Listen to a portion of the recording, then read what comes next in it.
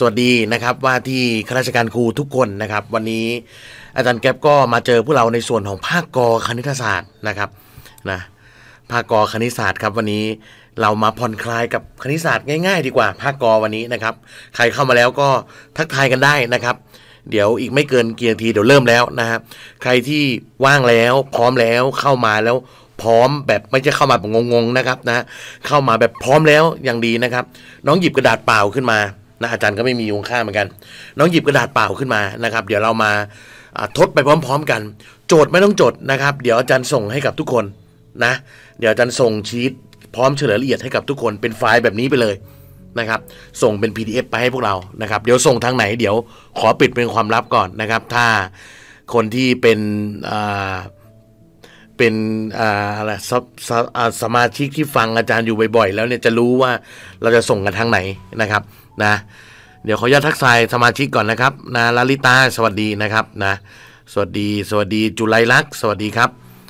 อ่าสวัสดีน้องมนนะครับ สวัสดีครับ น้องคิง สวัสดีครับนะน้องข้าวโอ๊ตสวัสดีนะครับหลายหลายคนก็เป็นเอกคณิตศาสตร์ที่เข้ามานะครับ ก็คอยเป็นโค้ดให้กับเพื่อนแล้วกันนะครับ วันนี้จะมาอยู่ในส่วนของคนที่ไม่ใช่เอกคณิตศาสตร์ ต้อง ทำภาคกอคณิตศาสตร์ให้ได้ ในการสอบรับราชการทุก ๆ สนามเราต้องเจอนะครับ เรามาทำไปพร้อมกันดีกว่านะครับ ก็ขออนุญาตเริ่มต้นเลยครับ กับข้อที่หนึ่งนะฮะวันนี้คณิตศาสตร์นี่จะบอกเลยว่าจะน่าเบื่อสำหรับคนที่เป็นเอกคณิตศาสตร์นิดหนึ่งนะครับนะเพราะฉะนั้นใครที่เป็นเอกคณิตศาสตร์เนี่ยลองกดแชร์ให้กับเพื่อนๆ แชร์ให้กับคนที่เรารักครับว่าเออวันนี้มีติวคณิตศาสตร์ภาคกอนะครับ มาเรียนรู้นะครับ จากคนที่เขามาถามเราว่าเอ้ยคณิตศาสตร์ภาคกอมันยากไหมก็มาดูไปพร้อมกันนะครับ มาดูไปพร้อมกันดีกว่า นะหลายคนเป็นเอกคณิตศาสตร์นะครับนะโอ้ยนะครับ มานั่งทำคณิตศาสตร์ภาคกอจะง่ายไปนิดหนึ่งนะครับ เพราะฉะนั้นน้องคนอื่นที่ไม่ใช่เอกคณิตศาสตร์นะครับ ตอบกันเข้ามานะครับ นะ ตอบกันเข้ามาทดหากระดาษทด ฝึกทดนะครับ วันนี้อาจจะไม่ใช่การติวแบบโอ้ติวแบบจริงจังไม่ใช่ขนาดนั้น เป็นการแลกเปลี่ยนความรู้กันนะครับ จะมีทั้งข้อง่ายข้อยากปะปนกันไปนะครับอ่าสวัสดีน้องโลเพชรนะครับ สวัสดีนะครับ สวัสดีนะฮะอ่าอย่างเริ่มข้อแรกเลยเนี่ยนะครับ ข้อแรกนี่ต้องการการเอาตัวกระดาษทดนี่มันมันไม่ต้องใช้ดีกว่านะครับ ข้อแรกนี่กระดาษทดนี่แทบไม่ต้องใช้เลยนะ น้องเห็นข้อนี้แล้วต้องยิ้มเลยครับ แล้วจะต้องตอบให้ได้เลยเขาถามว่า ข้อใดมีค่าเท่ากับหนึ่งร้อยี่สิบสี่โอ้โหเห็นแล้วอยากร้องไห้นะเห็นแล้วอยากร้องไห้หลายๆคนต้องได้แล้วนะครับ ตอบเข้ามาครับว่าตอบเท่าไหร่ น้องแค่ใช้อาจารย์จะบอกว่าแทบไม่ต้องใช้สมองเลยนะครับ พูดง่ายๆแล้วกันนะแค่คำนวณเลขเนี่ยคำนวณเลขว่าข้อไหนได้ร้อยยี่สี่ฝึกการคำนวณ ฝึกเย็ดเลขยกกำลัง นิดเดียวน้องก็ทำได้แล้วนะครับ อย่างช้อยข้อหนึ่งน้องดูสิครับ ถ้าใครคิดเลขไวๆเนี่ยช้อยข้อหนึ่งไม่ต้องคิดอะไรมากเลยห้ายกกำลังสามบวกหนึ่งไม่ต้องคิดเยอะ น้องเอาห้าไปตัดก่อนนะครับ แต่การตัดเลขเนี่ยน้องต้องดูดีๆนะครับ ต้องตัดอย่างนี้นะครับ ตัดทั้งซ้ายและขวานะครับ นะ เช่นอ่าน้องดูไปช้าห้ากำลังสามเนี่ยน้องตัดตัดห้ากำลังสองนะครับ บวกกับหนึ่งเนี่ยน้องตัดไม่ได้น้องต้องคงเศษหนึ่งส่วนห้าไว้ เพราะนั้นจากที่น้องเห็นเนี่ยมันไม่ลงตัวแล้วครับ ไม่ลงตัวนะฮะ จริงๆแทบไม่ต้องทดอะไรมากเลยนะครับ เนี่ยเห็นแล้วมันไม่ลงตัวแล้วอันเนี้ยนะครับเดี๋ยวมันจะได้ร้อยยี่สี่เป็นไปไม่ได้แน่นอนนะฮะต่อไปนี่ไม่มีใครตอบไปเหรอตอบได้นะครับนะฮะอาจารย์ไม่ดุนะครับนะอาจารย์ไม่กัดเอานะครับนะตอบกันได้นะครับ อันนี้เป็นภาคกอนะครับ คนที่เขาเป็นเอกคณิตศาสตร์เขายังไม่ค่อยอยากตอบนะครับเขาจะรอพวกเรามาก่อนนะรอพวกเราตอบคนที่ไม่ใช่เอกคณิตศาสตร์ ตอบมันเข้ามานะครับ เพราะคนที่อยู่ในเพจอาจารย์เนี่ยเป็นคนที่เป็นเอกคณิตศาสตร์เยอะอาจารย์บอกเลยว่าเยอะนะครับ เป็นคุณครูที่เขาเป็นเอกคณิตศาสตร์เยอะนะครับ เพราะนั้นภาคกอเนี่ยมันง่ายสำหรับเขาอยู่แล้วนะครับ แต่วันนี้อาจารย์มาเนี่ยอยู่ในภาคกอที่อยากจะทำให้คนเป็นที่คนเป็นเอกอื่นนะทำได้นะครับทำข้อสอบพวกนี้ได้นะฮะอ๋อสวัสดีน้ำพึ่งสายย่อด้วยนะครับนะฮะเออใครยังไม่ได้ไปกดติดตามกดติดตามนะครับ พี่น้ำพึ่งสายย่อนะครับนะฮะอ่าข้อหนึ่งไม่ใช่แล้วนะ ต่อไปข้อสองนะครับนี่ข้อนี้ต้องเฉลยแล้วนะครับ ข้อสองเนี่ยน้องตัดดีๆครับห้าไปตัดห้ากำลังสี่เนี่ยได้ห้ากำลังสามห้าไปตัดกับห้าเนี่ยมันได้หนึ่งอย่าเป็นศูนย์นะ แสดงมันคือห้ากำลังสามลบหนึ่งนะครับห้ากำลังสามถ้าน้องคิดดีๆนะครับ มันคือห้าคูณสามตัวอย่าตอบสิบห้านะ จะตอบสิบห้านะห้ากำลังสามคือห้าคูณกันสามตัวห้าห้ายี่ห้ายี่ห้าคูณอีกห้าเป็นร้อยยี่ห้าแล้วร้อยยี่ห้าเราลบออกหนึ่งก็จะได้หนึ่งร้อยยี่สี่สิบสี่นะหนึ่งร้อยยี่สิบสี่ตามที่โจทย์ต้องการแล้วคำตอบข้อนี้ตอบช้อยข้อที่สองครับนะอตอบช้อยข้อสองฝนฟับเลยนะครับ อาจารย์ไม่รอนะครับ ไม่รอนะ เพราะข้อนี้มันง่ายมันไม่ยากนะครับนัทนัทพงศ์สวัสดีครับ สวัสดีนะครับ สวัสดีพวกเราคงกลับจากโรงเรียนกันแล้วนะครับ ใครอยู่ในกรุงเทพโรงเรียนอาจจะปิดนะครับนะน้องอะไรเนี่ย คุณกูลบอกโพโพธิยาบอก สวัสดีค่ะไม่ได้ยินเสียงค่ะจริงเปล่าได้ได้ได้ยินเสียงไหมฮัลโหลฮัลโหลได้ยินเสียงไหม่เอ่ยเดี๋ยวจันเปิดเสียงก่อนดูสิ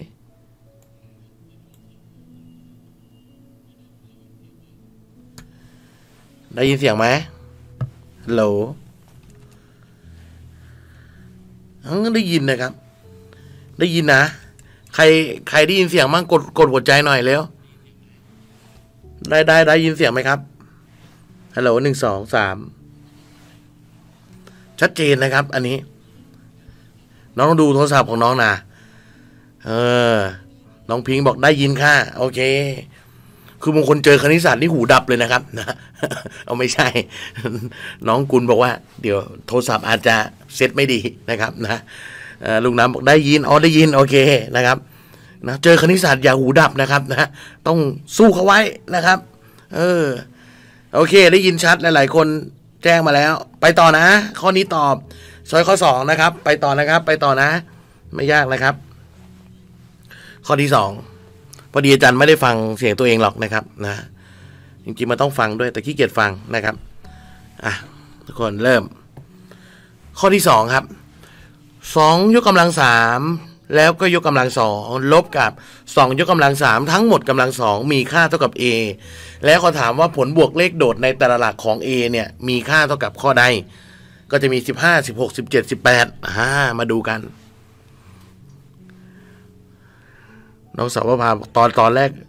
อาจารย์ลืมจะอ๋อใช่ครับ ตอนแรกอาจารย์ลืมเปิดไมค์ครับ ผมนะเซ็ตสดิบดีเลยนะครับอ่ามา ทุกคน ข้อนี้ตอบอะไรเอ่ยเร็วตอบอะไร ตอบอะไร ตอบอะไร ตอบอะไรข้อที่น้องทำถ้าเขาคำนวณไม่พลาดนะฮะ โจทย์เขาถามว่าผลบวกเลขโดดของ A เนี่ยในแต่ละหลักของ A เนี่ยมีค่าเท่ากับเท่าไหร่ เพราะนั้นถ้าน้องหา A ได้นะครับ น้องหา A ได้ว่า A มีหน้าตายังไง น้องก็เอาเลขโดดของมันมาบวกกัน แต่ปัญหาของคนส่วนใหญ่อยู่ตรงนี้ครับ คือการคำนวณเลข 2 ตัวนี้ฮะสองกำลังสามกำลังสองแล้วก็สองกำลังสามทั้งหมดยกกำลังสองแล้วภาคกรเนี่ยหลายครั้งมากที่ข้อสอบออกง่ายแบบนี้นะครับ ออกง่ายแบบนี้แล้วพวกเราคำนวณเลขผิดนะครับ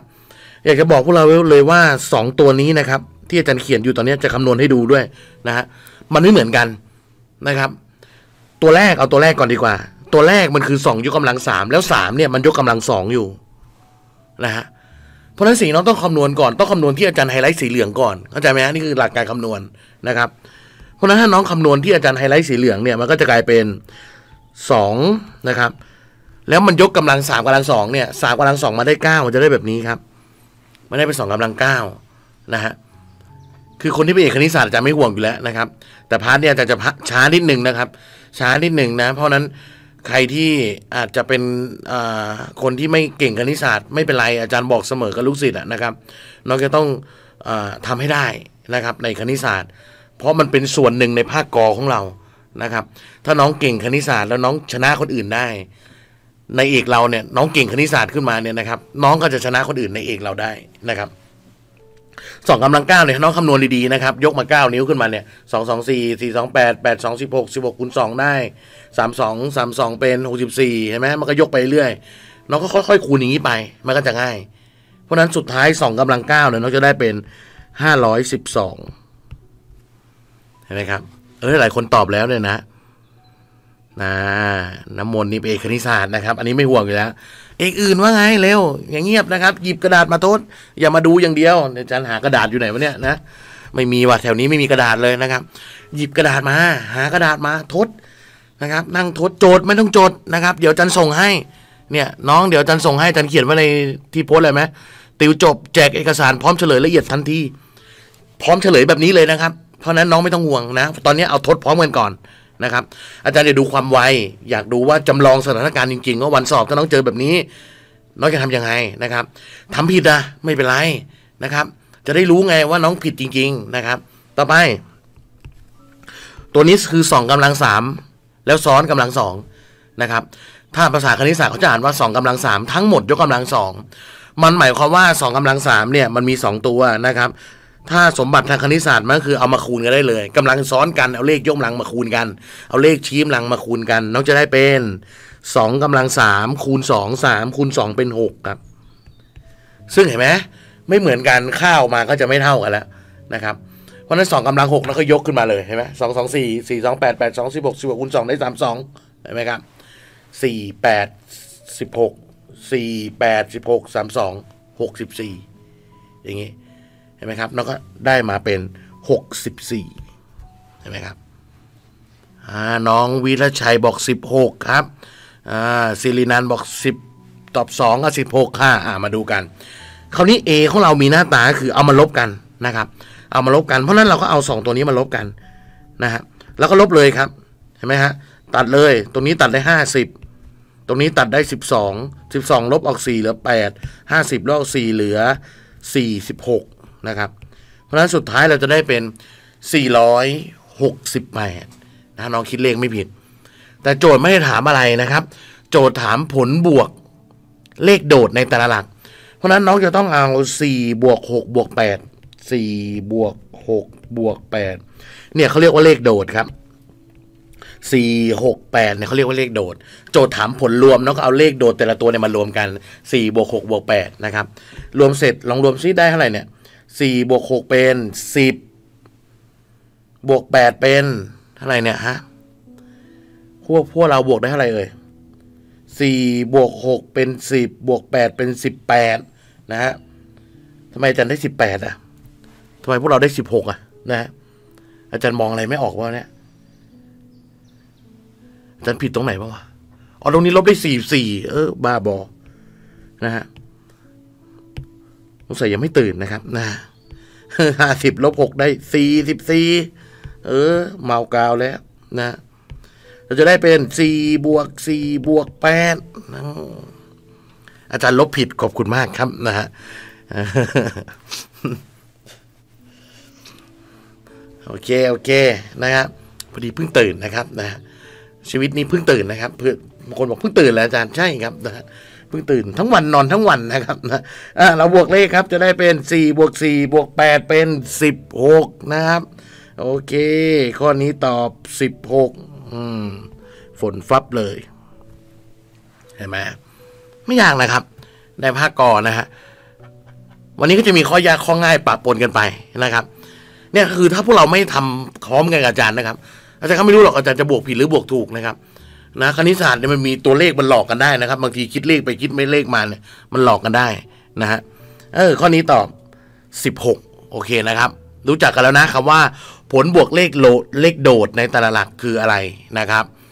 ต่อไปใครตอบสิบหกไหน เดี๋ยวกดหัวใจให้หน่อยออนี่ใครตอบมาอาจารย์กดหัวใจให้เลยนะครับ นะฮะ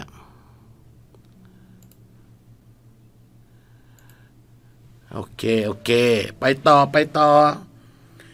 โอ้สวัสดีบงกฎจ้าสวัสดีนะครับ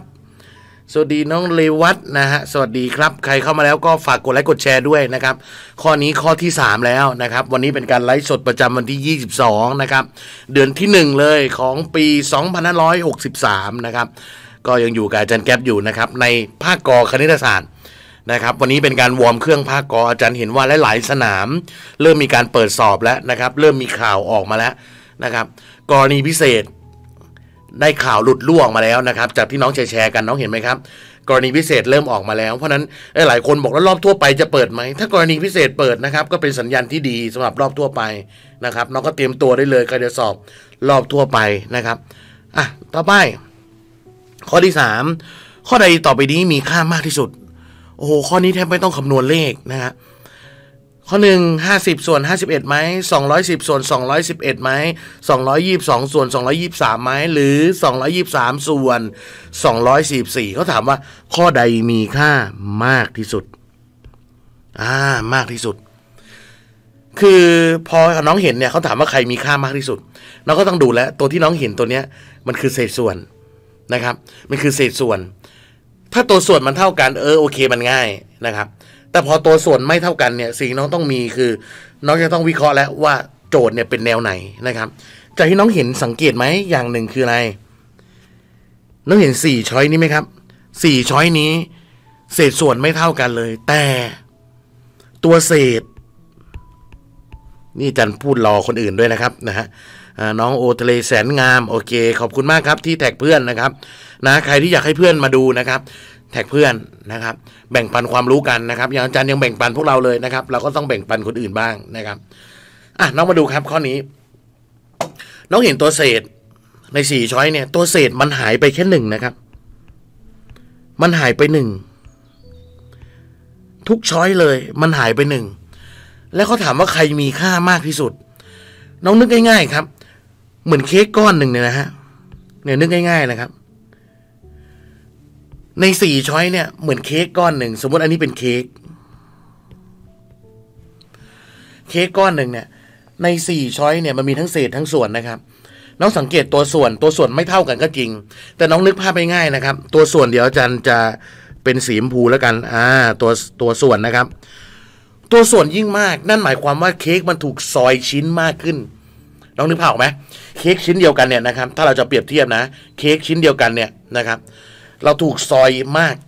ตัวส่วนนะ ถูกซอยชิ้นมากขึ้น ตัวเศษก็เปรียบเสมือนว่า อ่า ชิ้นที่มันหายไป อันนี้มันหายไปแค่หนึ่งชิ้นนะครับ มันหายไปแค่หนึ่งชิ้น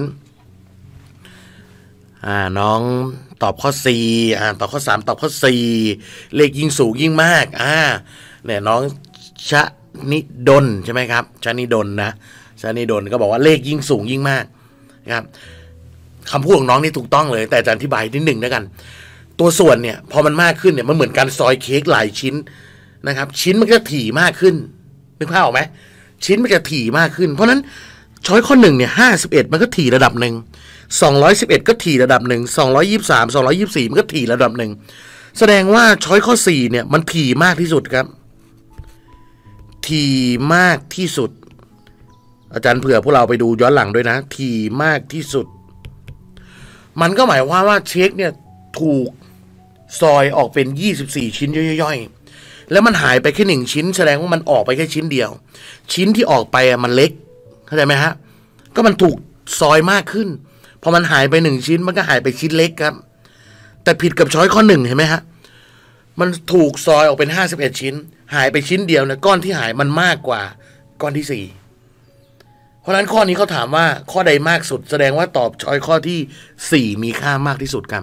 จริงๆ ใช้วิธีการนึกภาพเอาเนี่ยง่ายที่สุดแล้วนะฮะง่ายสุดแล้วนะเพราะนั้นตัวส่วนที่มันซอยออกเนี่ยมันซอยออกเยอะนะครับ ข้อนี้ตอบช้อยข้อที่สี่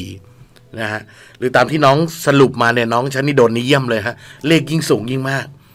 นะครับ อาจารย์อธิบายให้ฟังแล้วนะครับ น้องจะได้เห็นภาพชัดมากขึ้น มองเป็นเค้กก็ง่ายสุดครับ แล้วมองตัวส่วนเป็นการซอยชิ้นนะครับช้อยข้อหนึ่งซอยห้าสิบเอ็ดชิ้น น้องก็นึกภาพมันก็ระดับหนึ่งพอมาช้อยข้อสองมันซอยสองร้อยสิบเอ็ดชิ้น มันก็ต้องถี่ขึ้นสองร้อยิบสามก็ต้องถี่ขึ้นสองร้อยิบสี่ก็ต้องถี่ขึ้นนะฮะถี่แล้วไงอะจำนวนชิ้นมันก็เล็กนิดเดียวเล็กนิดเดียวนะครับอ่าโอเคไหมฮะน้องไม่ได้ใช้บอกว่า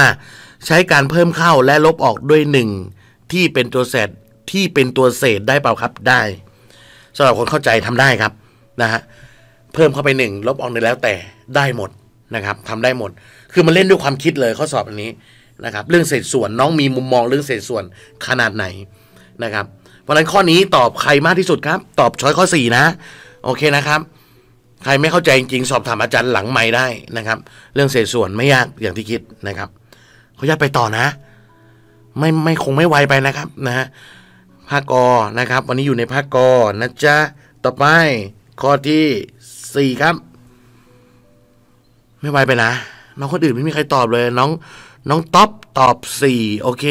น้องท็อปตอบมาแล้ว เนี่ยมีตอบอยู่สี่คนเองนะครับ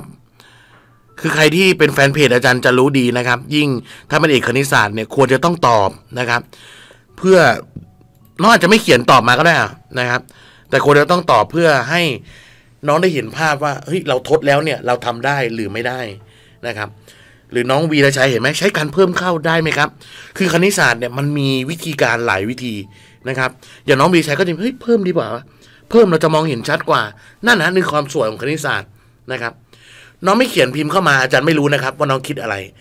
นะฮะ เพราะนั้นไอ้ที่น้องคิดอยู่ในใจเนี่ยมันถูกหรือเปล่าวะอะไรเงี้ยไอ้ที่กูคิดนี่ถูกหรือเปล่านั่นนะนั่นแหะคือสิ่งที่อาจารย์อยากรู้ว่าไอ้ที่น้องคิดจะถูกไหมเอาไปใช้ข้อสอบแบบนี้ได้หรือเปล่านะครับ โอเคนะ อยากให้น้องได้เห็นภาพนะครับ เราเป็นเราเป็นแฟนเพจเป็นลูกศิษย์อาจารย์กันแล้วเนี่ย น้องปรึกษาได้ทุกเรื่องคณิตศาสตร์นะครับอะขออนุญาตไปต่อนะครับ ไปต่อไปต่อไปต่อ ข้อ 4เขาถามว่ากระทรวงเกษตรและสหกรณ์เผยว่า เกษตรกรมีต้นทุนในการในการทำปุ๋ยอินทรีย์สูตรพิเศษกิโลกรรัมละ 350 บาท และได้มีการจำหน่ายไปอย่างแพร่หลาย จากข้อความข้างต้น ถ้าเกษตรกรจำหน่ายโดยติดราคา ซึ่งรวมกำไรไว้ 80%และจัดโปรโมชั่นลดราคา 40%แล้วเกษตรกรได้กำไรจากการขายกิโลกรรัมละกี่บาท โจทย์ยาวๆแบบนี้สิ่งน้องต้องทำก็คือ น้องจะต้องสรุปในใจให้ได้ว่า โจทย์พูดถึงอะไรนะครับ โจทย์พูดถึงอะไร โจทย์ถามอะไร แล้วเนื้อเรื่องโจทย์ว่ายังไง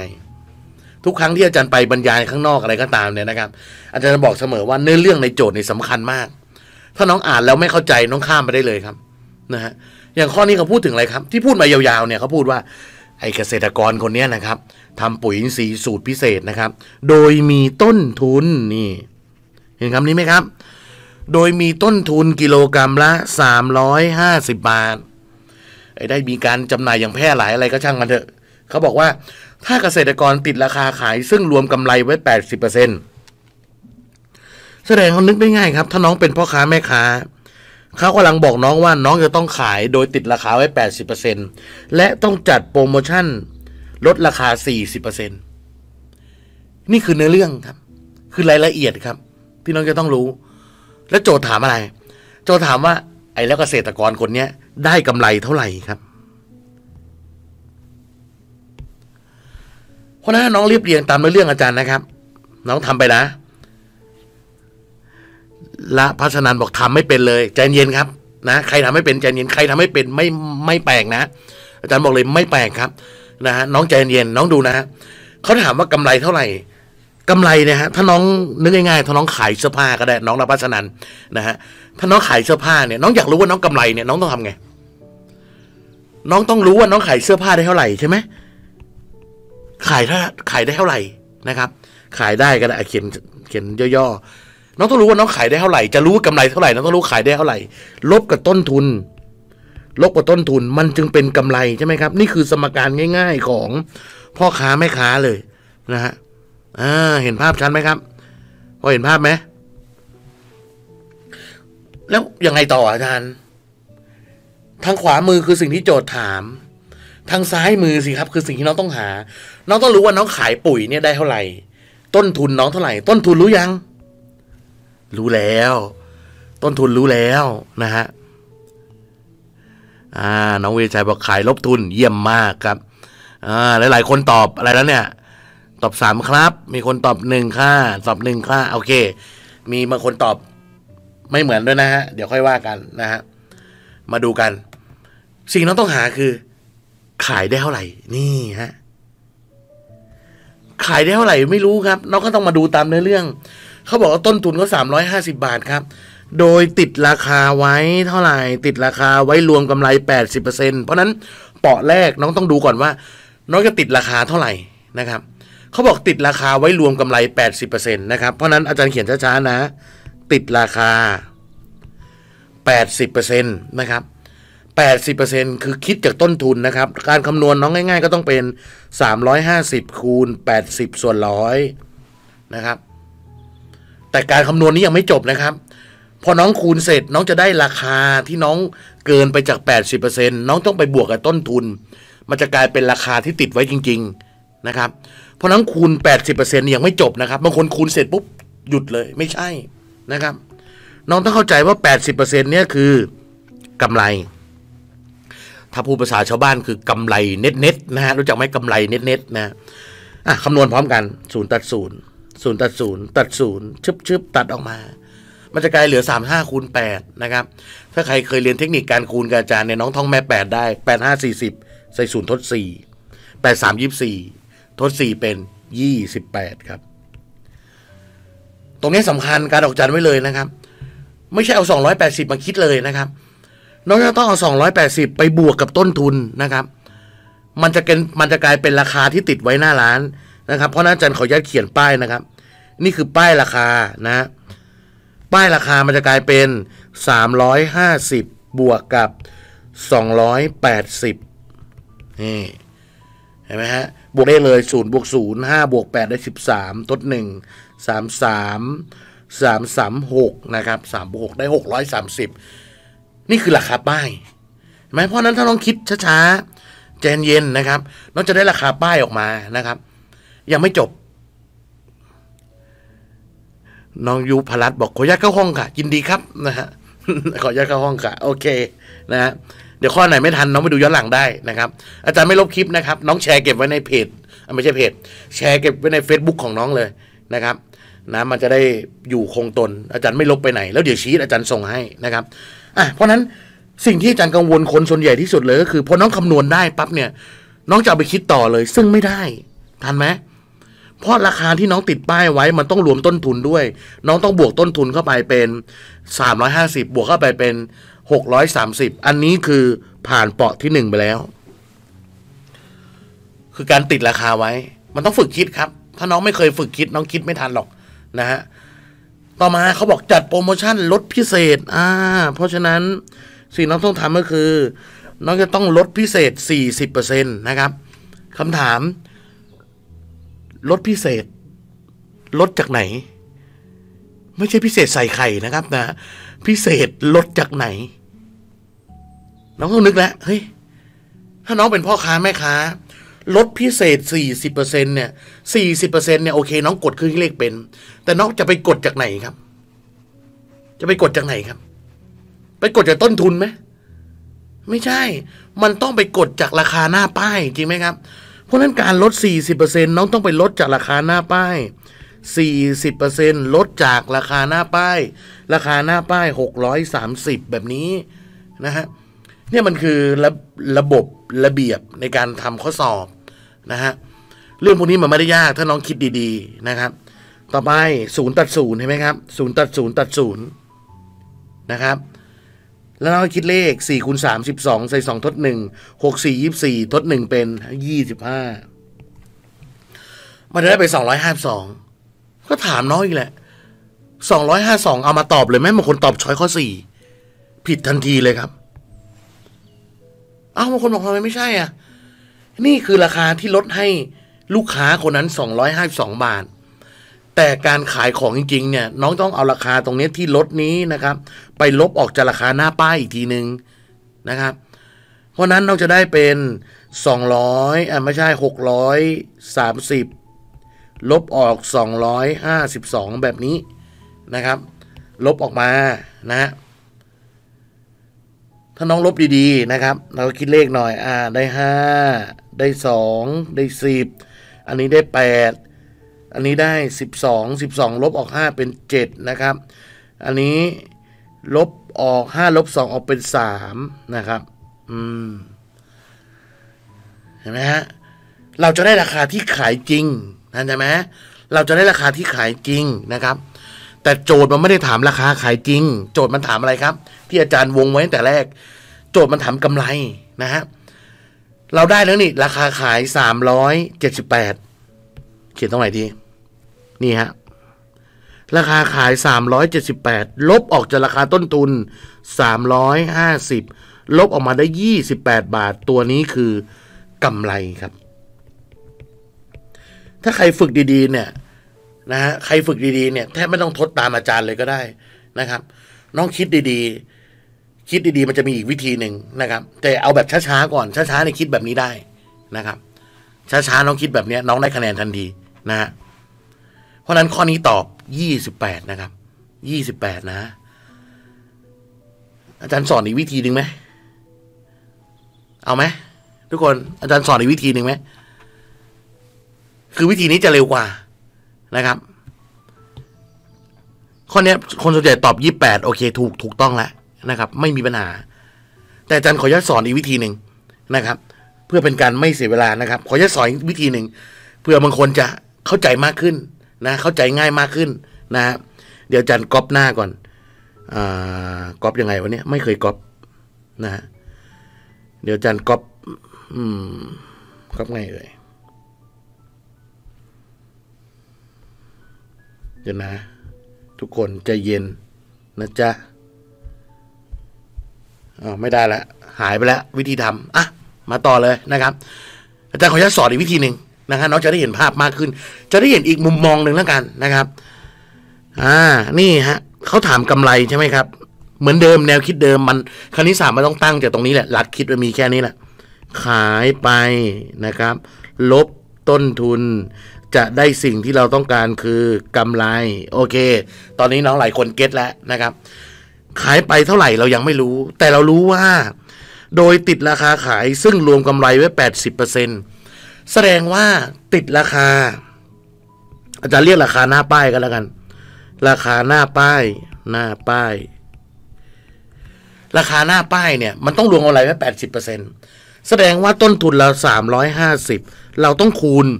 เราจะไม่คูณแปดสิบเปอร์เซ็นครับ เราจะคูณร้อยแปดสิบเปอร์เซ็นเลยเพราะอะไร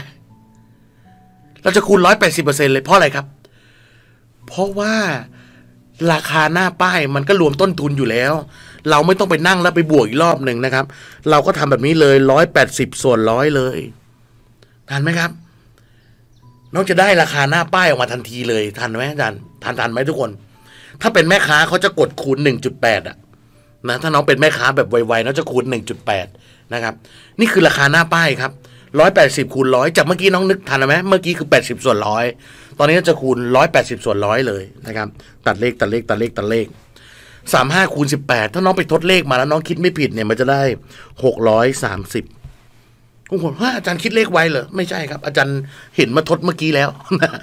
มันมันคิดเลขไวอะไรนะครับนะแล้วก็ไปคูณในกระดาษมาสิครับนะมันก็ได้สามร้อยหกร้อยสามสิบเท่ากับเมื่อกี้แหละนะครับ แนวคิดเดียวกันนะครับ เห็นไหมไวกว่าเมื่อกี้น้องทำไงเมื่อกี้เนี่ย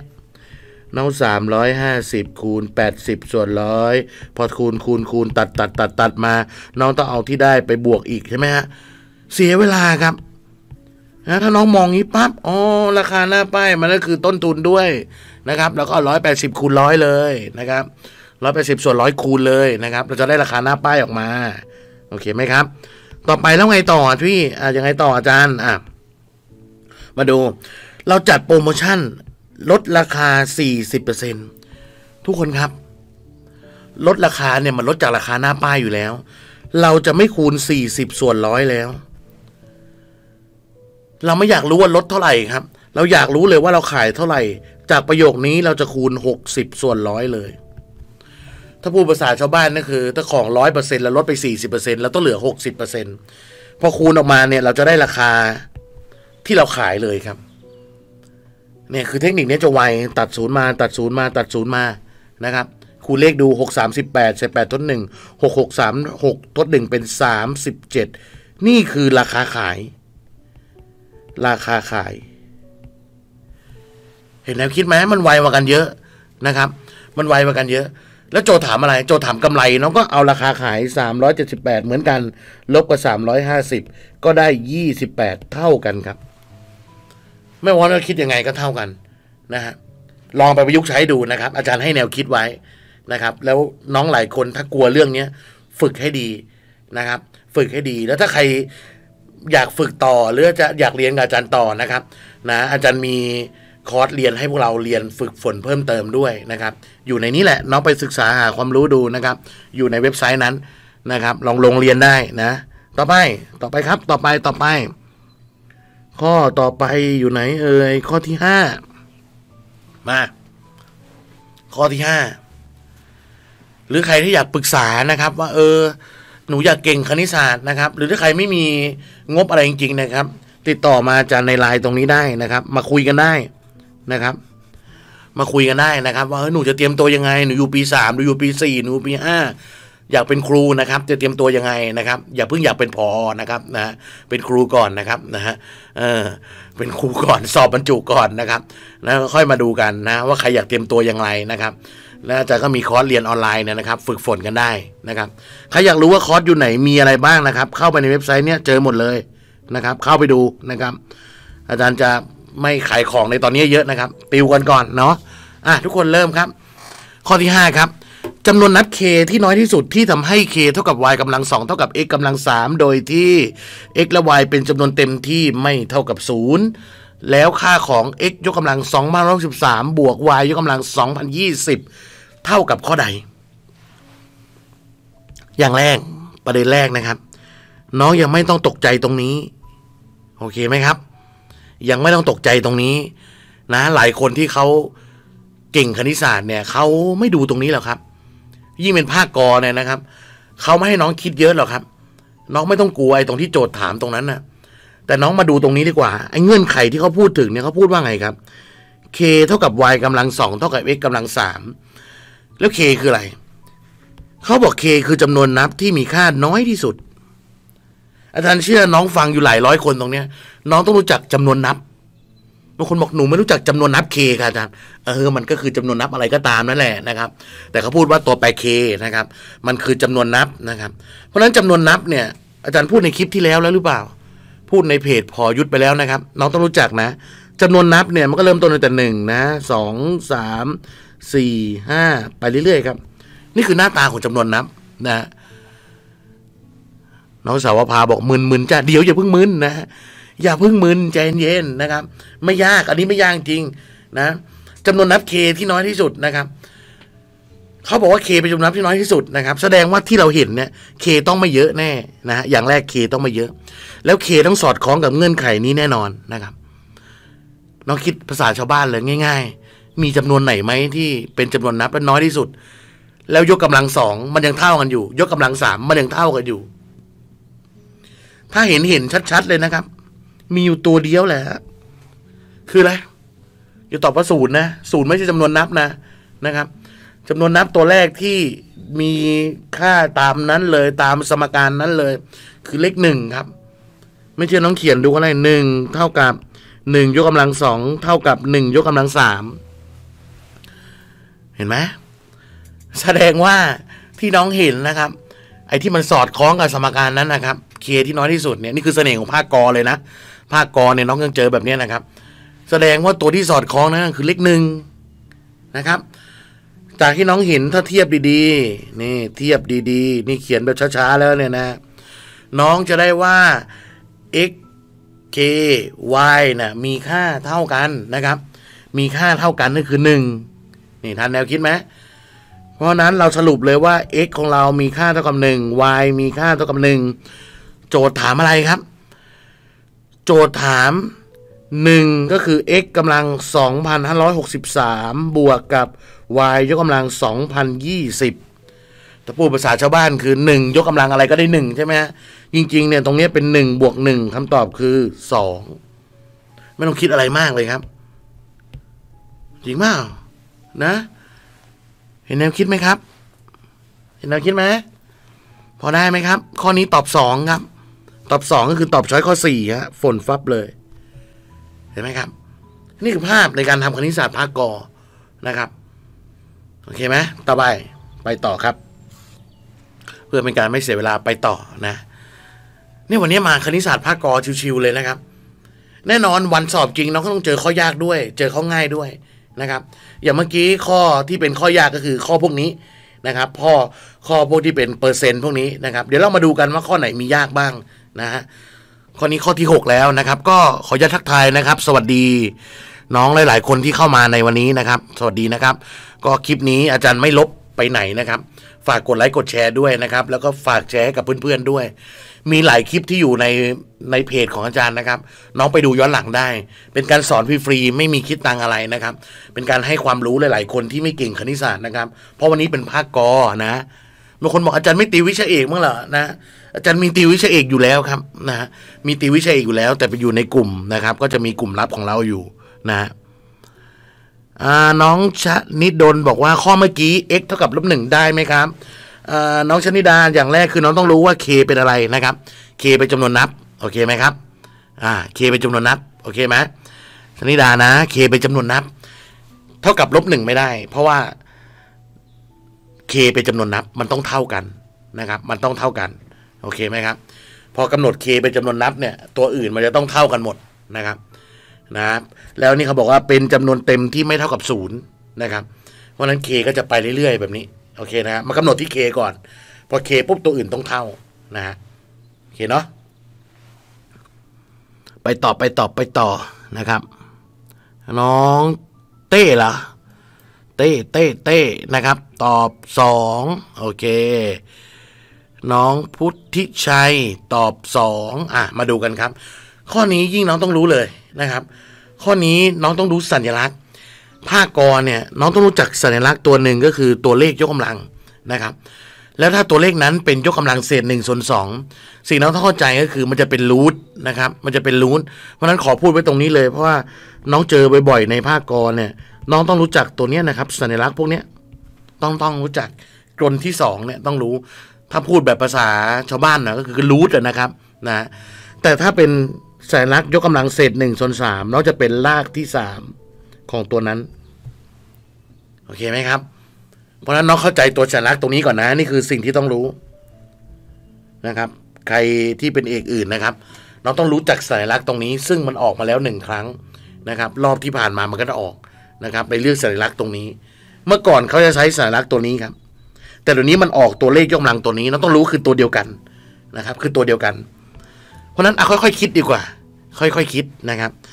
ตัวนี้ผู้ภาษาชาวบ้านคือรู้49อ่าบวกกับลากที่สามของเจ็ดร้อยยี่สิบเก้าแล้วก็ถอดรูทครับอ่าอาจารย์เปลี่ยนเป็นสาระก่อนนะ ถอดรูทอย่างนี้นะครับทันไหมครับทันไหมครับทันนะทันนะนี่ตัวนี้ ตัวนี้คือตัวนี้นะครับ อ่านี่แค่ทำอย่างนี้ทันนะทันนะ ไม่ทันบอกนะ เพราะหลายคนอาจารย์เห็นตอบมาแล้วเขาทำได้แล้วนะครับ ต่อไปเราก็คิดออกมาครับคำนวณออกมา รู้สี่เก้าถอดเลขเจ็ดนะครับเจ็ดเจ็ดสี่เก้าไงนะครับ ต่อมาเจ็ดร้อยยี่สิบเก้าเจ็ดร้อยยี่สิบเก้าน้องต้องดูว่าอะไรคูณกันสามตัวได้เจ็ดร้อยยี่สิบเก้าคำตอบคือเก้าถ้าน้องฝึกบ่อยๆน้องจะรู้ว่าตัวเนี้ยมันคือเก้าคูณกันสามตัวครับ นะฮะพอน้องได้ปั๊บเก้าคูณสามตัวสามตัวออกมาหนึ่งตัวนะครับ มันจะได้เก้ามาอย่างนี้เห็นไหมครับนั่นนะ ต่อไปเจ็ดบวกเก้าได้สิบหกนะครับ แล้วเขาถอดรู้สิบหกอีกทีหนึ่งอะไรคูณกันสองตัวได้สิบหกคำตอบคือสี่ไหมไม่ยากนะครับ อันนี้ น้องพิมพ์ชนกบอกว่าขอบคุณค่าจานโอเคครับนะน้องข้าวโอ๊ตได้ไหมได้นะ ตอบสองกันหมดเลย โอเคครับ นะข้อสองตอบข้อน้องสุวิมลข้อหกตอบสองคือสี่โอเคอุจจารเห็นตัวเลขงงไปหมดหกสองสี่ก็คือข้อหกตอบช้อยข้อสองโอเคนะครับโอเค หลายคนตอบข้อสองไม่มีปัญหานะ ข้อนี้ทำได้ไม่ยากข้อนี้ตอบช้อยข้อที่สองครับ ฝนฟับเลย ข้อนี้ อืมโอเค โอเค ไปต่อครับ เราไปต่อนะ แล้วเราก็จะมาเจอกันบ่อยทุกอาทิตย์เนี่ยอาจารย์จะพยายามเจอกันสักหนึ่งครั้งนะฮะซึ่งอาจารย์สุกเสาร์อาทิตย์เนี่ยอาจารย์ไม่ว่างอยู่แล้วนะครับ อาจารย์ออกบรรยายนะครับ ออกไปบรรยายข้างนอก ติวสอบข้างนอกนะครับ ก็อย่างเสาร์อาทิตย์นี้นะครับ ก็ขอญาตประชาสัมพันธ์เลยแล้วกัน น้องใครทำก็ทำไปเลยนะ ตอนนี้ทำได้เลยนะครับ ขอญาตประชาสัมพันธ์นะครับเสาร์อาทิตย์นี้เจอกันพี่โซโลกกับนครสวรรค์นะครับพี่สุรโลกเนี่ยติวสอบครูผู้ช่วยนะครับ รอบทั่วไปแล้วก็รอบกรณีพิเศษด้วยนะ ก็เจอกับอาจารย์แก๊ปทั้งสองสองสองจุดเลย พี่สุรโลกเนี่ยเจอกันที่โรงแรมไพลินนะครับนครสวรรค์เจอที่โรงแรมบ้านสวนนะครับ ทั้งเสาร์อาทิตย์เลยนะครับ ก็เจอกับพอยุทธด้วย เจออาจารย์แก๊ปด้วย นะครับ เจอกันก็ทักทายกันได้นะครับ มาถ่ายรูปกันได้นะครับ อาจารย์ไม่กัดแล้วนะครับนะแล้วไม่เคยกัดด้วยนะครับไปต่อครับ ข้อที่ 7 ครับ ถ้า a star b เท่ากับ b กำลัง2บวก a แล้ว x กระทำกับ y เท่ากับ y ลบ x แล้วค่าของ4 star วะ4 star 3กระทำกับ5 star 6คืออะไรบางคนเจอข้อสอบนี้งงครับ งงงงเฮ้ยอะไรคืออะไร เอางี้นะครับ ข้อสอบสไตล์นี้นะคือสิ่งที่เขาบอกข้อตกลงมานะครับ ไอตัวเนี้ยถ้าพูดภาษาชาวบ้านนะครับ ไอตัวเนี้ยกับไอตัวเนี้ยมันคือข้อตกลง ถ้าภาษาคณิตศาสตร์เขาเรียก operation การดำเนินการ ถ้าภาษาคนทั่วไปก็คือมันเป็นข้อตกลงครับ ข้อตกลงคืออะไรอาจารย์ก็ไม่รู้แล้วแล้วแต่โจทย์นะครับเขาจะตกลงยังไงอ่าอย่างอันแรกครับเขาบอกว่าถ้ามันเป็นดอกจันนะ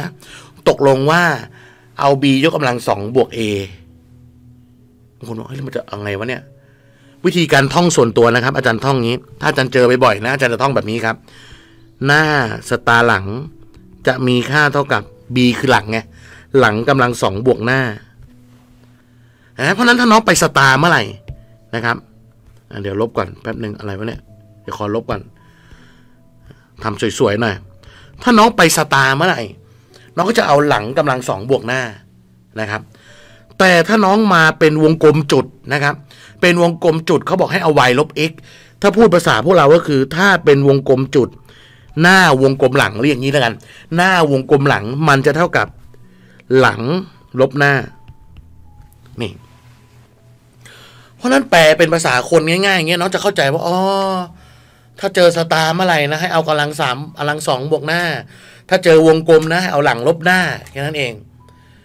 เพราะนั้นพอมาจ้องมาเจอโจทย์น้องก็จะง่ายแล้วเราก็ทำข้างในวงเล็บก่อนครับ มีสองวงเล็บนะครับ นะ อาจารย์ขออนุญาตทำก่อนสี่สตาร์สามก็มองเลขสี่เป็นหน้า มองเลขสามเป็นหลังทันไหมช้าๆนะ มองเลขสี่เป็นหน้า มองเลขสามเป็นหลังนะครับ บอกว่าถ้าสตาร์เมื่อไหร่ให้ทำไง หลังกำลังสองบวกหน้าเห็นไหมครับ หลังกำลังสองบวกหน้า เพราะนั้นเราก็จะได้ว่าหลังกำลังสองจะได้เป็นสามกำลังสองบวกหน้าคือสี่คิดเลขนิดนึงสามกำลังสองได้เก้านะครับ บวกสี่ได้สิบสามผิดไหมอาจารย์ถามตัวเองนะว่าผิดไหมนะครับนะสามกำลังสองได้เก้าบวกสี่เป็นสิบสามเราก็ได้เป็นสิบสามนะครับ อย่าให้อาจารย์พูดคนเดียวนะ เออตอบกันมาเนี่ยเห็น เออ น้องไก่ตอบมา โอเค น้องเต้ตอบมา น้องกุ๊กตอบมา ตอบมาตอบมา ผิดถูกไม่สนครับ เพจนี้ผิดถูกไม่สน ยิ่งผิด ยิ่งจะติวให้ฟรีด้วยซ้ำนะครับ ยิ่งผิด ยิ่งเอาเถอะนะอาจารย์ต้องการให้คนผิด ผิดเยอะๆอาจารย์จะได้ช่วยนะครับ นะยิ่งผิดยิ่งถ้าเก่งแล้วไม่ต้องมาฟังอาจารย์แล้ว อาจารย์บอกงี้เลยนะครับ นะคนจะสอบบรรจุได้เนี่ยจะต้องฝึกฝนเยอะๆนะครับอะน้องได้แล้วนะสี่สตาร์สามต่อไปห้าสตาร์หกก็เหมือนกัน หลังกำลังสองก็กลายเป็นหกกำลังสองบวกหน้า บวกหน้าคือห้าหกกำลังสองได้สามสิบหกบวกห้าได้สี่สิบเอ็ดเห็นไหมครับ แสดงว่าในวงเล็บแรกได้สิบสามในวงเล็บหลังได้สี่สิบเอ็ดอะสี่สิบเอ็ดเพราะนั้นข้อนี้โจทย์กำลังถามว่า โจทย์กำลังถามว่า 13 วงกลมกับ 41 เนี่ย มีค่าเท่าไหร่ทำไง วงกลมเราก็ไปดูที่วงกลมนะครับเราก็ไปดูที่วงกลม วงกลมก็หลังลบหน้า เพราะนั้นหลังลบหน้าเราเป็น 41 ลบหน้าคือ 13 เห็นไหมฮะ41ลบ3ได้38ลบอีก10ได้28ครับคำตอบข้อนี้คือ28เห็นไหมฮะ ไม่ยากอะไรเห็นไหมครับยี่สิบแปดข้อนี้ก็คือช้อยข้อที่หนึ่งนั่นเอง น้องคนที่ไม่ทันนะครับ น้องคนที่บอกโอ้อาจารย์หนูคิดไม่ทันจริง ๆ น้องอย่าดูคนในนี้นะครับ อย่าดูคนที่ตอบมานี้ เพราะว่าคนส่วนใหญ่อาจารย์บอกไว้ก่อนนะ คนส่วนใหญ่ในเพจของอาจารย์จะเป็นเอกคณิตศาสตร์นะครับ ประมาณ 30-40%เลยจะเป็นเอกคณิตศาสตร์นะครับ ซึ่งเขาชอบทำโจทย์อยู่แล้ว ในเพจอาจารย์จะมีโจทย์ให้ฝึกทำบ่อยๆนะครับ ยิ่งเป็นภาคกรเนี่ยน้องเขาจะฝึกทำบ่อยๆ เพราะนั้นน้องอย่าหลายหลายคนที่เขาเป็นเอกคณิตศาสตร์เนี่ยน้องอย่าไปดูไม่เขาเก่งจัง อย่าไปว่าตัวเองนะครับเขาเก่งโอเค แต่น้องต้องฝึกไงน้องเห็นโอ้คนนี้เก่งจังวะทำไมคนนี้ฝึกเก่งจัง เราก็ฝึกตัวเองสิครับ เริ่มตั้งแต่วันไหน เริ่มตั้งแต่วันนี้ครับ นะการสอบบรรจุไม่มีเวลาเริ่มต้น ไม่มีเวลาสิ้นสุด น้องต้องเริ่ม จะจบวันไหนอาจารย์ไม่รู้ แต่พอประกาศสอบแล้วสอบบรรจุมา น้องสอบบรรจุได้ ชีวิตน้องหยุดแล้ว เข้าสู่เส้นทางราชการแล้วนะครับ อาจารย์ถือว่าอาจารย์ส่งพวกเราถึงฝั่งฝันแล้ว ขอแค่นั้นแหละครับโอเคนะครับน้องบุญมาบอกอาจารย์ติวได้แม่นมาก อันนี้ไม่ใช่หวยนะครับนะโอเคนะครับนะ ใครที่เคยติวอาจารย์จะรู้นะครับนะฮะว่าข้อสอบคณิตศาสตร์มันมันไม่หนีไปไหนนะครับ มันไม่หนีไปไหนแล้วน้องฝึกดีๆเถอะนะครับแล้วในเพจอาจารย์มีให้ฝึกบ่อยๆด้วยนะครับ ฝึกในเพจไม่พอ อันนี้ขายของเลยนะครับ ฝึกในเพจไม่พอนะครับ มีในคอร์สให้เราเข้าไปเรียน ลองเข้าไปเลือกเรียนดูก่อน เข้าไปเลือกดูในนั้นมีคอร์สอะไรบ้างไปเลือกเรียนดูนะครับ ต่อไปข้อที่ 8 ไปต่อ ไม่อยากขายของนานแล้วไปต่อครับ ไปต่อข้อที่ 8 นะครับ ถ้า a สตาร์ b เท่ากับ a ยกกำลังสองของ b คูณ b ลบ3และ a กระทำกับ b ไม่ใช่เครื่องหมายบวกนะครับ อันนี้บอกพวกเราก่อนไม่ใช่เครื่องหมายบวกนะครับ มันเป็นสัญลักษณ์เฉยๆนะครับนะเป็นสัญลักษณ์เฉยๆมันก็คือถ้ากระทำแบบนี้อาจารย์เรียกว่าวงกลมแล้วกัน ถ้า a วงกลมกับ b จะเท่ากับ a คูณ b บวก2นะครับเขาถามข้อใดต่อไปนี้มีค่าน้อยที่สุดนะครับ น้อยที่สุด ราะฉะนั้นอย่างแรกคือน้องจะต้องเข้าใจข้อตกลงตรงนี้ก่อนนะครับ จะต้องเข้าใจข้อตกลงตรงนี้ก่อน ถ้าสตาร์เป็นแบบนั้น ถ้าวงกลมเป็นแบบนี้ต้องรู้ โอเคไหมครับ นะน้องพิมพ์ชนกบอกเออทำไม่ถูกไม่เป็นไรครับนะฮะไม่เป็นไรนะ นะ เดี๋ยวฝึกกับอาจารย์บ่อยๆนะครับ อาจารย์ก็พยายามจะมาเจอกับเราบ่อยๆแล้วกันนะ น้องที่เอกคณิตศาสตร์ก็ไม่ต้องเสียใจนะครับ นะอาจารย์ขออนุญาตติวในกลุ่มให้จบก่อน ดูแล คนที่เขาซื้อคอร์สเข้ามาให้จบก่อนนะครับนะเดี๋ยวก็จะมาติวข้างหน้าเพจ แต่ไม่ได้ติวเนื้อหานะครับ ติวข้อสอบให้นะครับ ก็จะมาบ้างนะครับ แต่ส่วนใหญ่จะจะดูแลคนที่ซื้อคอร์สวิชาเอกเข้ามาก่อนนะครับ เพราะนั้นเอกคณิตศาสตร์จะมีคอร์สแยกออกมานะครับอะเขาถามว่าสี่ choice เนี่ยใครมีค่าน้อยที่สุด มาเริ่มเลย choice ข้อหนึ่งไปทีละข้อนะสาม star หก เขาบอก star เนี่ยมาทำอะไรกัน star star เอา a a คือหน้า หน้ายกกำลังสองคูณหลังลบสามก็หมายความว่าเอาหน้ายกกำลังสองคูณหลังคือหกแล้วก็ลบสามเข้าใจไหมเข้าใจสิ่งที่อาจารย์จะสอนไหมข้อนี้ คือการตกลงการตกลงที่เขาตกลงมาว่าเขาตกลงว่ายังไง เราทำตามเขาเลยนะครับเราก็คำนวณครับสามกำลังสองได้เก้าเก้าคูณหกได้เก้าหกห้าสิบสี่ห้าสี่ลบสามได้ห้าสิบเอ็ด ต่อไปช้อยข้อสองเขาถามว่าใครน้อยสุดนะ ต่อไปเจ็ดวงกลมกันหนึ่ง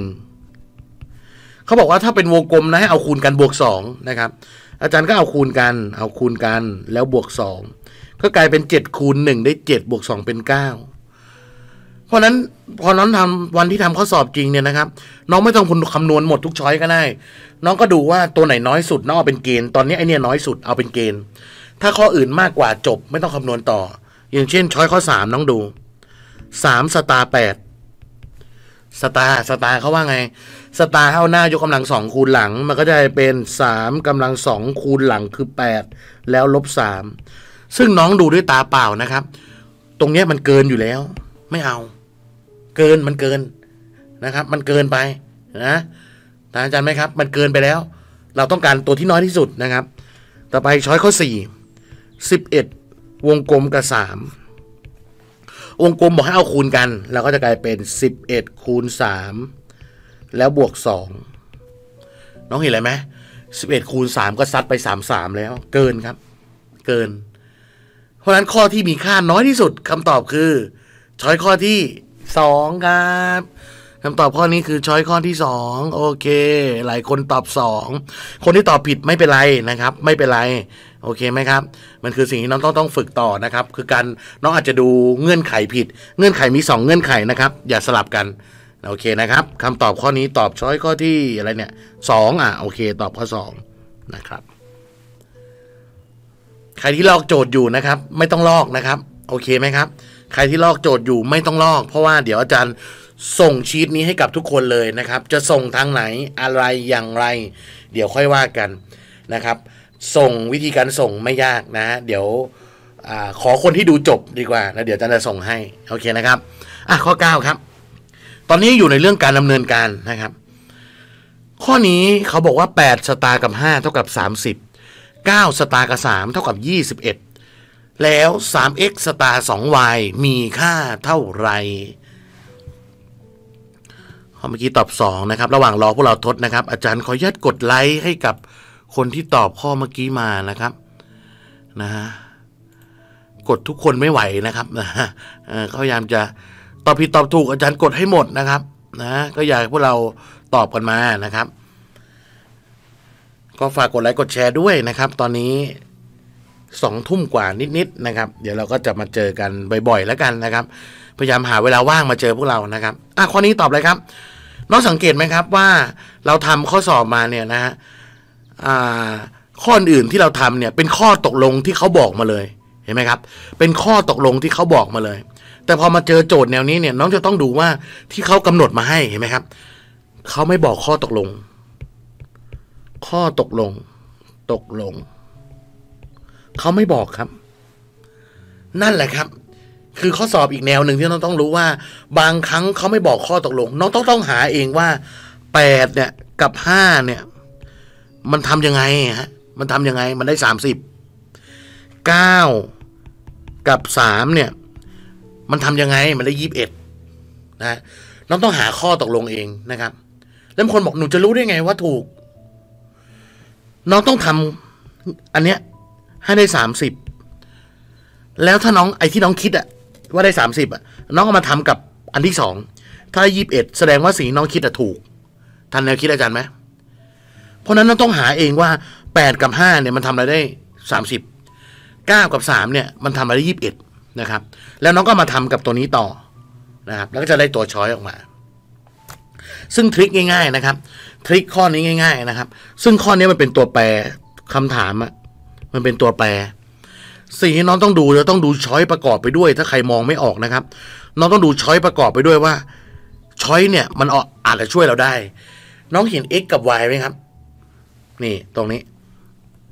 ช้อยน้องเห็น x กับ y ป่ะ มันคูณกัน เห็นไหมครับ มันคูณกัน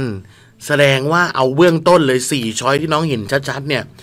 ตรงเนี้ยมันต้องคูณกันหน้ากับหลังตรงนี้ต้องคูณกัน แสดงว่าสิ่งที่น้องต้องลองอย่างแรกเลยก็คือ เอาไอ้สองตัวเนี้ยมาคูณกัน น้องดูนะครับ ดูวิธีการนะ ดูนะครับแปดกับห้ามันคูณกันได้สี่สิบถามอาจารย์ป่ะแต่ ไอตัวที่เขากำหนดมาบอกมันได้สามสิบนะครับ แสดงว่าตรงนี้เนี่ยฮะ มันต้องลบสิบผมบอกฮะอาจารย์คิดเองไหมเนี่ย อาจารย์ก็สังเกตดูว่าเราคูณถ้าเอาแปดคูณห้าเนี่ยมันได้สี่สิบนะครับ แต่พอเราต้องการสามสิบเดี๋ยวลบสิบนะครับ แล้วสิบตัวนี้มาจากไหนครับสิบตัวนี้มาจากไหนสิบตัวนี้อาจารย์ก็ดูต่อเฮ้ยมันมีเลขห้าด้วยว่ะแสดงว่าเราต้องเอาห้าคูณสอง ราะนั้นจริง ๆ แล้วตรงนี้นะครับ ถ้าเขียนดีๆนะครับ มันคือแปดคูณห้านะฮะแล้วลบกับห้าคูณสองเอาใหม่บางคนเริ่มมองเห็นแล้ว เอ๊แปดคูณห้าแล้วก็เอาห้าคูณสองห้าคือตัวหลังนะ คูณสองน้องก็ลองเอาที่เราคิดเมื่อกี้เนี่ยนะครับ เอาที่เราคิดเมื่อกี้เนี่ยเฮ้ยคูณกัน เอาตัวหลังคูณสองเอาลบกัน ลองดู เราก็ลองทำตรงนี้มั้งครับเก้ากับสามเราก็เอาเก้าคูณสามนึกพร้อมกันครับเก้าคูณสามได้เท่าไหร่ครับเก้าคูณสามได้ยี่สิบเจ็ดนะครับ แต่โจทย์ต้องการยี่สิบเอ็ดครับ เราต้องลบหกครับ เดี๋ยวขออนุญาตเปลี่ยนสีนิดนึง ตรงนี้ได้ยี่สิบเราต้องลบหกครับไอ้หกมันจะมาไงอะน้องเห็นตัวหลังไหมสามคูณสองอีกแล้วครับ สามคูณสองอีกแล้ว แสดงว่าถ้าน้องจะสรุปนะครับ จากที่ทำมาทั้งหมดนี้ เราจะสรุปได้ว่าแพทเทิร์นตรงนี้เนี่ย มันคือหน้าสไตล์กับหลัง มันจะได้ว่าให้น้องเอาหน้ากับหลังคูณกันนะครับ หน้ากับหลังคูณกัน แล้วลบด้วยสองคูณตัวหลัง เห็นไหมฮะนี่คือการสังเกตนะครับ คือการสังเกตจากทั้งหมดว่าโจทย์แนวนี้เนี่ยต้องสังเกตยังไงนะครับ บางคนมองไม่ออกก็ไม่แปลกนะครับ แต่มันจะต้องฝึกนะครับ ว่าโจทย์แนวเนี้ยน้องต้องสังเกตจากไหนนะครับ เพราะนั้นสิ่งที่น้องได้มาแล้วคือตรงนี้ครับ นี่ ถ้าเจอหน้าสตาร์กับหลังเมื่อไหร่ ถ้าเป็นข้อนี้ให้เอาคูณกัน ลบด้วย 2 คูณตัวหลัง เพราะนั้นสิ่งที่โจทย์ถามอ่ามาพร้อมกัน สิ่งที่โจทย์ถามโจทย์ถามอะไรครับ 3x สตาร์กับ 2y เราก็เริ่มเลยครับ มองอะไรเป็นหน้าครับ มอง 3x เป็นหน้านะ มอง 2y เป็นหลังนะครับ อันนี้เป็นหน้า อันนี้เป็นหลังนะครับ เริ่มเราก็จะได้เป็นหน้าคูณหลัง เราก็ได้ 3x คูณกับ 2y ลบด้วย 2 คูณตัวหลังตัวหลังคือ 2y เพราะนั้นถ้าน้องคำนวณดีๆคำนวณไม่ผิดนะครับ ในนี้มันได้เป็น 3 คูณ 2 เป็น 6 6xy อันนี้ 2 คูณ 2 เป็น 4 ได้ 4y ลบกับ 4y คำตอบข้อนี้คือ 6xy ลบ 4y ตอบช้อยข้อที่ 3 โอเค หลายคนตอบ 3 ดีมากนะครับอ่ายังมีคนตอบผิดอยู่ไม่เป็นไรนะครับ ฝึกกันได้เราฝึกกันได้นะครับ ข้อนี้ตอบข้อที่ 3 คือคนที่ผิดเนี่ยยิ่งดีครับ ยิ่งรู้ว่าอ๋อเฮ้ยเราคำนวณผิดตรงไหนหรือเปล่า เรามองหน้ามองตัวหน้าเนี่ยมันคนมองแค่ x อย่างเดียวนะครับ แต่ตัวหน้าเนี่ยมันคือ 3 3x เลย ตัวหลังมันคือ 2y เลยนะครับ เพราะนั้นพอเอาหน้าหลังคูณกันมันต้องยกมาทั้งก้อนนะครับ แล้วคูณกับ 2 ตัวหลังเนี่ย มันต้องยกมาทั้งก้อน เราก็จะได้แบบนี้ออกมา จะดูข้อผิดพลาดเราครับ คนที่ทำไปพร้อมกับอาจารย์เนี่ย จะได้รู้ข้อผิดพลาดนะครับนะสวัสดีพี่แนนนะครับ สวัสดีนะครับ ต่อไปครับไปต่อไปต่อไปต่อไป มามามาต่อไปครับถ้าสิบสอง กระทำกับเก้าไอ้ตัวนี้คือกระทำนะสิบสองก็ทำกับเก้าได้สองร้อยสิบหกแปดกระทำกับสิบห้าได้สองร้อยสี่สิบเขาถามว่าเจ็ดกับหกเนี่ย มาทำกันเนี่ย ได้เท่าไหร่อ่าอันนี้เหมือนปัญหาชาวที่อยู่ตามโซเชียลเลยเนาะนะครับ มันก็จะมีแบบนี้แหละ เพราะนั้นน้องต้องสังเกตครับ อันนี้นะฮะข้อนี้อาจขออนุญาตเฉลยเลยได้ไหมนะครับ น้องต้องหัดลองเยอะๆนะลองเยอะๆคือใครเห็นโจทย์ทีแรกเนี่ยไม่มีใครรู้หรอกครับ นะทำไมอาจารย์รู้ อาจารย์เตรียมตัวมานะครับ นะชนิดาบอกผิดเป็นครูครับ ผิดหนักๆเป็นพอค่าจริงทอง ไม่พูดเราไม่พูดไม่พูดนะพอดีๆก็มีนะครับไม่ใช่อย่าคนเอาตาม อย่าคนเรียนเรียนแบบตามก็พอนะครับนะกลัวการเรียนแบบมากเลยนะครับ นะแค่เป็นพอก็ทำแบบนี้ได้ด้วยนะครับ กลัวการเรียนแบบมากเลยนะครับอะทุกคนมากันต่อข้อนี้กันนะครับ ผิดเป็นครูใช่ไหมผิดเป็นครูน้องชันนี่ดนนะครับ ผิดเป็นครูอะทุกคนเริ่มครับ ข้อนี้ ข้อนี้ขออนุญาตเฉลยเลยนะ คือถ้าใครฝึกบ่อยๆเดี๋ยวฝึกเยอะๆเดี๋ยวทำได้เอง ข้อนี้ครับ น้องดูนะครับสิบสองกับเก้าเนี่ยมันได้สองร้อยสิบหกนะครับ มันคือสิบสองคูณเก้าครับสิบสองคูณเก้าได้หนึ่งร้อยแปดแล้วสองร้อยสิบหกมาจากไหนคูณสองครับ ได้สองร้อยสิบหกถ้าพูดภาษาชาวบ้านก็คือจับคูณกันแล้วคูณสองนะฮะเพราะนั้นตัวนี้แปดกับสิบห้าน้องดูครับแปดกับสิบห้าคูณกัน ให้ทายมันจะได้เท่าไหร่ครับแปดห้าสี่สิบใส่ศูนย์ทดสี่แปดหนึ่งแปดทดสี่เป็นสิบสองคูณเสร็จมาได้ร้อยยี่ครับ แต่โจทย์ต้องการสองร้อยสี่สิบเราก็ต้องคูณสองให้มันจะเป็นแพทเทิร์นเดียวกันครับ คูณสองสองก็ได้เป็นสองร้อยสี่สิบเท่ากัน ราะนั้นโจทย์ถาม โจทย์ถามเจ็ดกระทำกับหกเราก็ต้องเอาคูณกันตามสเต็ปที่เราคิดมาใช่ไหมฮะเจ็ดคูณหกและคูณสองสุดท้ายอย่าลืมเห็นไหมเจ็ดคูณหกได้สี่สองสี่สองคูณสองได้แปดสิบสี่คำตอบข้อนี้คือแปดสิบสี่ครับ เพราะฉะนั้นเรื่องนี้นะครับ มันเหมือนเป็นสิ่งน้องต้องสังเกตนะครับ แล้วการสอบรับราชการเนี่ยเจอบ่อย ๆนะครับ กระโจทย์แบบนี้ เพราะนั้นสิ่งที่น้องต้องฝึกก็คือการสังเกตการดูตัวเลข ตัวเลขพอน้องฝึกบ่อยๆเดี๋ยวมันไม่ยากหรอกครับ แต่คนที่ไม่ฝึกเนี่ยมันจะไม่ได้ มันจะมองไม่ออกครับว่าเเลขมาจากไหนอะไรเงี้ยนะครับ